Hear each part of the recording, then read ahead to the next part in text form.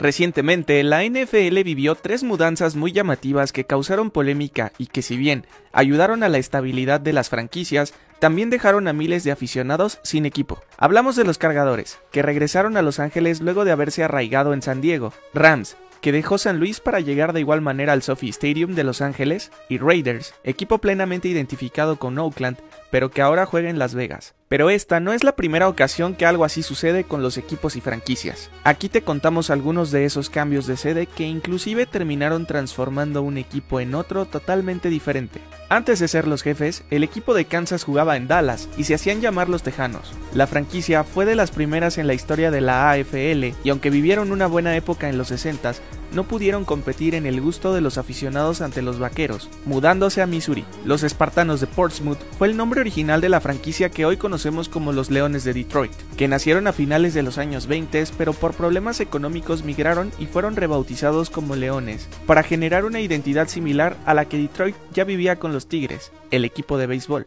Pero sin duda, una de las mudanzas más polémicas fue la que ocurrió con la franquicia de los Colts, que dejaron Baltimore en 1984 para llegar a Indianapolis. La gente de la ciudad recuerda la salida del equipo con dolor, ya que durante la noche el dueño aprovechó que los habitantes dormían para llevarse todo en camiones hacia su nuevo destino, la historia de cambios de franquicia en Baltimore no termina ahí. Luego de 12 años sin equipo, llegaron a la ciudad los Ravens, debido a la mudanza de los Cafés de Cleveland, equipo que resurgió hasta 1999 con una franquicia de expansión. Para terminar, no podemos dejar pasar una de las mudanzas más recordadas, la de los Petroleros de Houston, que en 1997 dejaron Texas para llegar a Nashville.